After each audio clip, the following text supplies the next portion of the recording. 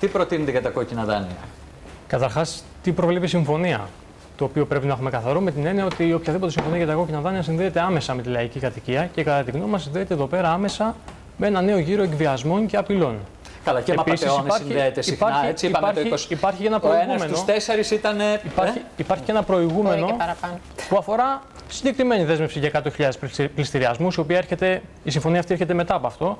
Οπότε, με βάση αυτό πρέπει να σημειώσουμε δύο πράγματα. Ένα, για το θέμα της χρονικής διάρκειας, που είναι μέχρι 12 μήνες. Μπορεί να κρύβει και πολιτική σκοπιμότητα, αλλά κατά τη γνώμη μας αυτό που υπηρετεί είναι πραγματικά να γίνει ένα όργιο εκβιασμών για να στραγγίξουν όσο το δυνατόν περισσότερα ποσά από τους πιο αδύναμους σε πρώτη φάση Και συνεπής. και, και, και συνεπείς πολλοί από αυτούς. Πολλοί, πολλοί δεν είναι και συνεπείς γιατί δεν μπορούν να ανταποκριθούν Ναι. ε, σε ένα τέτοιο κόστος. Και βέβαια απ' την άλλη κρύβει και μια υποκρισία με την έννοια ότι αυτός ο ένας χρόνος δεν νομίζουμε ότι θα βρεθούν οι συντάξεις που λείπουν, οι μισθοί που λείπουν.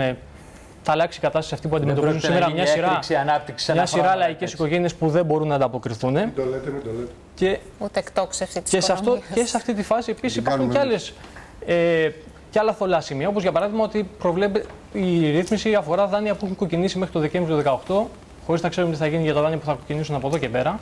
Άρα, από κάθε άποψη, αυτό που προκύπτει είναι ότι η πρώτη κατοικία συνεχίζει να βρίσκεται στο, στο, στο στόχαστρο και προκύπτει βέβαια και η ανάγκη να ενισχυθεί πάλι η διεκδίκηση, ούτως ώστε αυτό το κανένα σπίτι στα αρχαία τραπεζίτη να γίνει πραγματικό έτοιμα, πραγματική διεκδίκηση και πάλι για να επιβληθεί. Πάντως, το σύνολο των πραγματικά φτωχών ανθρώπων δεν προστατεύεται, υποστηρίζεται από αυτό το νόμο, έτσι; το σύνολο των πραγματικά φτωχών ανθρώπων ίσα ίσα ε, αντιμετωπίζει ένα κύμα εκβιασμών, απειλών, ούτως ώστε να ανταποκριθεί σε κάτι το οποίο είναι αδύνατο να ανταποκριθεί.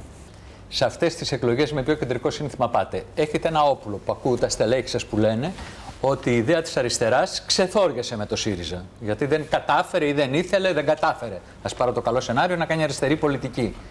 Εσείς με αυτό το όπλο θα Σε αυτές τις κατέβετε εκλογές πάμε ότι με- είστε η κανονική πάμε- αριστερά στη χώρα; Πάμε με σύνθημα, μην ψάχνεις για διαφορές, κάνει τη διαφορά με δυνατό κουκουέ και αυτό προκύπτει από τη συζήτηση.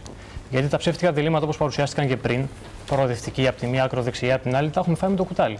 Η αντιμνημονιακή γίνονται μνημονιακή, το όχι έγινε ναι, και ξαφνικά ο ΣΥΡΙΖΑ βρίσκεται χωρίς τον καμένο αλλά με τους καμένους, βρίσκεται να μιλάει για την ακροδεξιά ενώ συγκυβέρνησε τέσσερα χρόνια μαζί της.